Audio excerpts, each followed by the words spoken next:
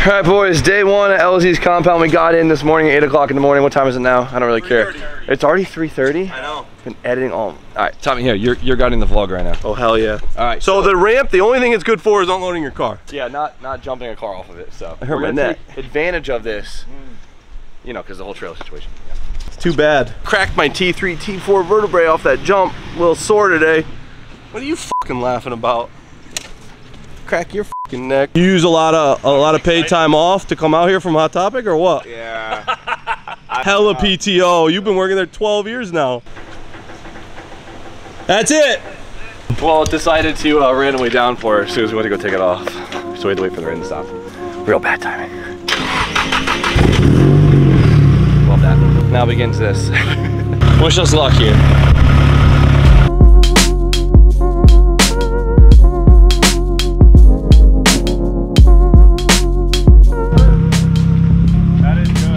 It seems to be that the boards do work perfectly for the S15. We'll see when we take the 13 off. because how it The does. transmission is just so low on that with the CD009. Ah, you like that, Tommy? Yeah, that's good. Oh, that's good. You like that, Tommy, huh? 15 came off pretty smooth, even though everything was super slippery. But but we were filling this thing with ethanol in the trailer earlier, and gas was pouring underneath the car. So I don't know what happened to the gas tank, but something happened either loading on the trailer or just being on the trailer. So I'm really worried. So we have to get this thing on the lift ASAP and hope that my gas tank didn't split. Whoa, turn a little right. Just a hair right. Go right. Get in on there. I got an idea. Just put your wood under the front wheels. You gotta lift the front up. You're good all day now. All day.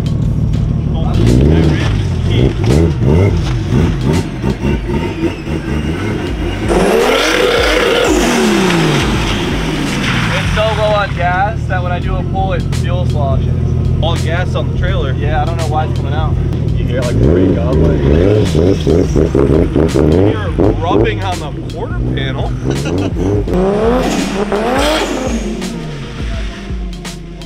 Just randomly developed a fuel issue.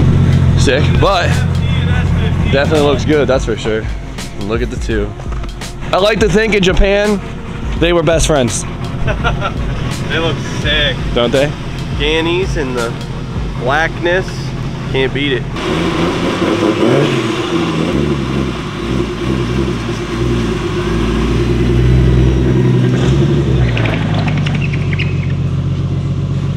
So we're on the lift here. We have two things to do. We got to finish hooking up the sway bar in the front, and we also have to figure out what's leaking. And I'm kidding. Uh, we have to figure out what, what's leaking in the rear. Uh, DJ and Ant filled up, went to go fill up the gas tank, and three gallons of gas just went over the trailer. I don't know why. Did the tank randomly crack? Did a line burst? Who knows? We gotta figure it out. Ant's 5'5". I'm 5 I'm 5'9". Yeah, you're five one, dude. Dude, you're This is, brought, this is brought up way too much. Nothing about you's Who's got a tape measure? Deej, you're There's a, 5'9"? there's a team member. No, right. Tommy's 6 foot. Yeah, I, I know. I'm the same size as Tommy. Look at that. Are we close? No. No, Let's get the toe plates you're out. five three. It just downpoured, so everything's soaked, so it's gonna be a little hard, but we'll figure it out. I feel like it's the seam, dude. Looking at this right here, and that looks fresh. I'm thinking maybe when the tr on the trailer, it's smashing the ground just like the exhaust is. These gouges look fresh right here. And which- maybe it stressed it enough to split it. What hit it? Because the rear bumper doesn't hit. We got the heights. I'm sorry to interrupt you. Yeah, yeah. DJ is 5'4", I'm 5'10". No, he was 5'8", I'm 5'10". You're 5'10". That Yeah, Grant just I measured. measured, yeah. 16 feet tall. I didn't say anything Oh wrong. yeah, sorry. Back to this. No, no, okay, okay. So if you look, there's fresh gouges on the tank, which means something hit the tank, which probably put stress on it, which then cracked it. The problem is the rear bumper wasn't hitting anything, so how did the gas tank get hit on the trailer, but the rear bumper didn't because it's lower? I have a theory. Yeah, let's hear it. I have a theory. Ant jamming the jack under here constantly without checking, you know, just fucking ramming it. That's a good theory. Or Good theory, I think but- Grant was out there with a flathead Gouging at the for Oh, the comp. for the competition. Before the comp. trying to sabotage some Oh. people. What about this though? This looks was- kind of fresh. Cue the Beastie Boys sabotage. You know, Who do you think did it, Marco? I feel like Marco did it. Sam it. Sam it. My money's Sam on Sam it. Damn it. S13. He's got Same one out height. there. A lot of shit going on there, right? Oh my god. Did I just get sabotaged by Samet? Just take his gas tank. his car's yeah, out there. I'll take the gas tank out of He's his He's nowhere to be found. He'll never know. It's not much gas in it, so I hope there's not much gas in it. Seemed to all leak out, didn't it? decent amount, at least two, three gallons. It's a lot of money in ethanol. so really, uh, we drop the two straps and the whole thing comes out. So, oh, we have to do the um, the filler neck too. Okay, there's more to it, but. If you're wondering why I'm doing that on the ground, so I don't drop it on my head. What did you do? You you you know what you did. What did I do? You know what you did. Yeah, I cut his fuel line. I was like, stop this guy. I'm just trying to win, make this guy lose. But no, it's because you don't have the plastic cover there. Hey, Exposed. why don't you just take the wheel off, bro? I don't need to do that. You can get to everything through here. That's not how we do this in America. We make Was it things just so much more difficult than it needs to be. I'm sorry, I'll buy you a beer tonight for that. here it comes. It's coming out pretty. Oh, hang on. It's caught on the net. This thing's full. What? I got it, I got it. Oh, the line. Oh, wait. Interesting. Interesting. But how is it full if we only put like four gallons in You at the go shop? up? Get it out of there. This thing isn't. Oh, what? The thing's full? It's full. Yeah. It's completely full. Okay, Alright. then we have more issues than just, Yeah. than just that. Okay, so it was leaking out because it was overfilling. overfull. Well, shut off. We put more gas into it. yeah. Let's Started. right up. Right. We load on the trailer. Once it gets at a crazy incline, shuts off. You're like, oh, it's low fuel, right? Okay. No gas gauge. Then we went to go fill it up. Pissed out gas. Looks like it pissed out gas because uh, it was just overfilled. But uh, why was it shutting off now? I don't remember this thing being this crusty. Here we go. I'm hoping the line just broke for the pump, and it didn't. Dude, we it's just filled to the max with ethanol. That is Well, that's why it was insane. leaking. That's why it was leaking. that's full. No, I mean, it, it looks clean in the tank. The line's not split. So we're gonna see if uh, we got any internal logging data from like that little pull I did. They should have put it in conditions that it would have started logging and see if we could see any fluctuation in the fuel pressure. Looks like fuel pressure was fine, which is a little scary, which means that we probably don't have much of a fueling issue here. so that whole like filling up with gas and having it run afterwards was just like a fluke. It just happens to be a weird coincidence. So if we saw something wrong in the log, it would point us into the next direction of what might be wrong. But Now we see nothing and our heart sinks. yeah, we see nothing and this sucks. so the gas tank's fine, right? It looks a little suspicious, but we're gonna throw it back in because that's what we got. The gas tank is fine. So uh, we're just gonna throw it back in, see what happens, try and move on to the next issue. Right, of course we didn't film this, right? So I'm rig- I rigged this whole thing up right here to just get the gas out of the tank because obviously we can't get this thing in there with all the weight in here. So you hear it right now, and hit it, we'll stop? Hit it, look at that. It is a pump, that's crazy. It must have Wow. been an old log or something then on, saved on the ECU. Yep, Hit it again. Shutting it on and off. So the vibrations of the car was probably You know, fluctuating. whack that pump. It's clap on, clap, on. Dude, it's insane. What the fuck are you guys going over there? Um, I couldn't find this. See, I couldn't find this stuff. I just made that. Thank you, Johan. That is so funny. That's funny. Dude, I didn't see it in the log. You don't see the fuel pressure shut off. It must happen like At the right time. at the right time. Or I had an old log pulled up because it was Yeah. an ECU log file. So there's no time code on the ECU log do- uh, download, so you don't know if it's the previous one or not. But You think it could? Where can it be? Can it be here? Or can oh it be yeah, at so that's the question: is it in the pump or is it on these shit connectors right here? You see these right here? So instead of whacking this, let's wiggle these. You know that that'll tell us. Yeah. Wiggle them. Whack the pump. that makes, dude. It's like those lamps. Remember those lamps that we used to have a lot when you were kids and you tap them? Hit, dude, check it. Like, it's so consistent. Hey, uh, I gotta take a lap. Turn my fuel pump on for me. What in the? Have you ever seen anything like that in your life? No, I mean, we're running into issues here with Adam, and Yeah. nothing like this yet.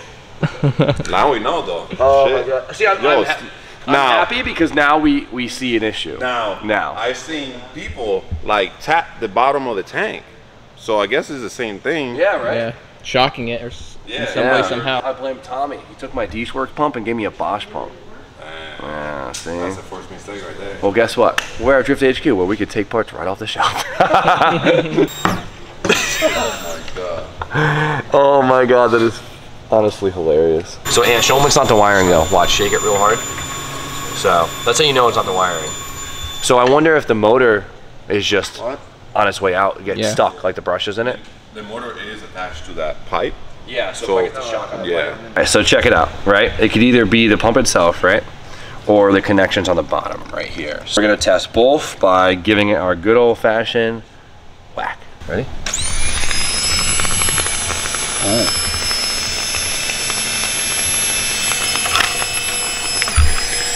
It's gotta be the pump. Yeah, I You think. just, you just shorted the pump. Did you just see that? No. It arced from I see the it right there. from the holder to here. This is covered in Oh, oh gas. That did not just happen. You should have let that thing burn down. That is so funny.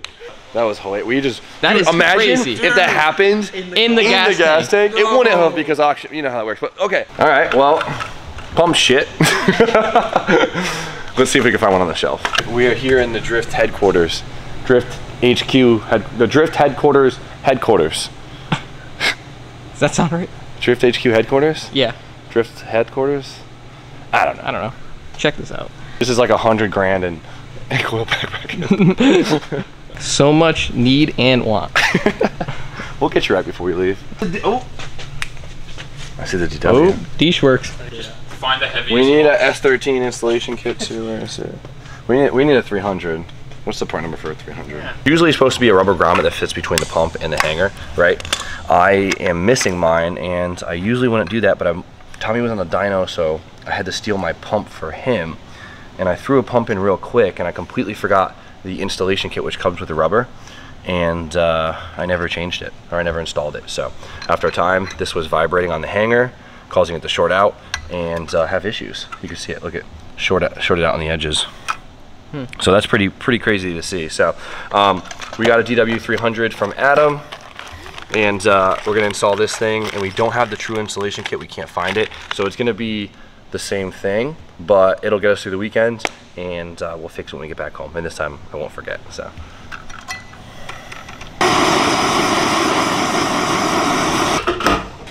Just like that.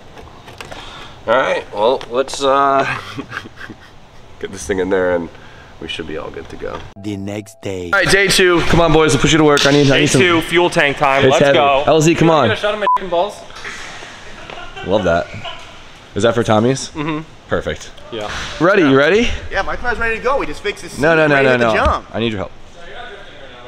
What? No drifting? Hey man, I got a text to say, hey, you come to the compound, you can drift whenever you want.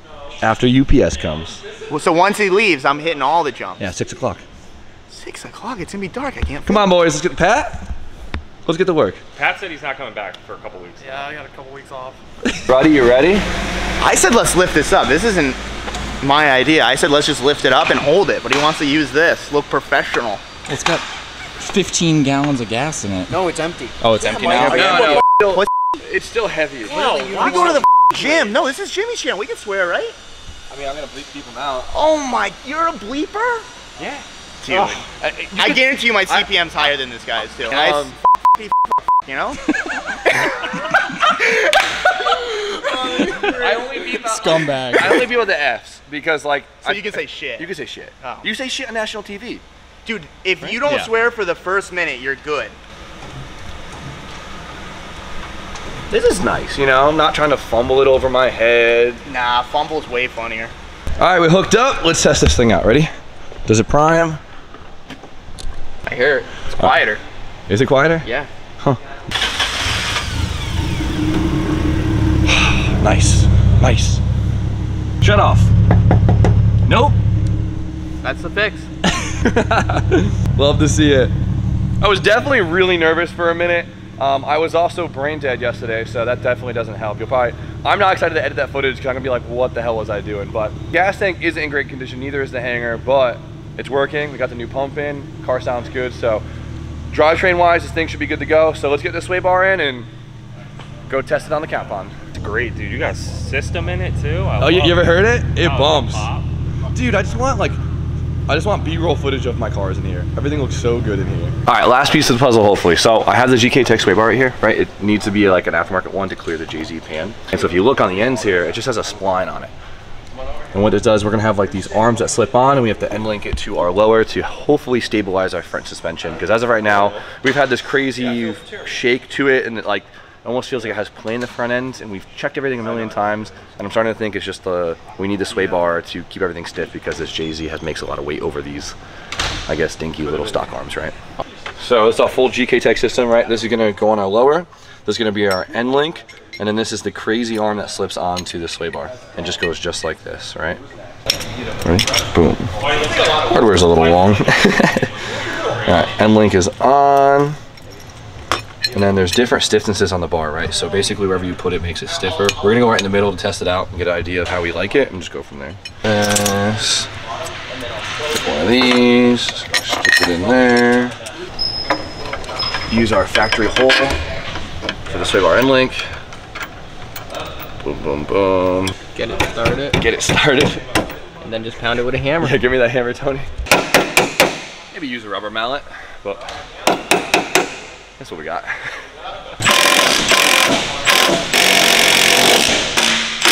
Boom. We got a sway bar, boys. Hopefully this tightens her up. Should be. Should be. I really think they should bring the There's car no way it's gonna feel worse. That's all I'm That's true.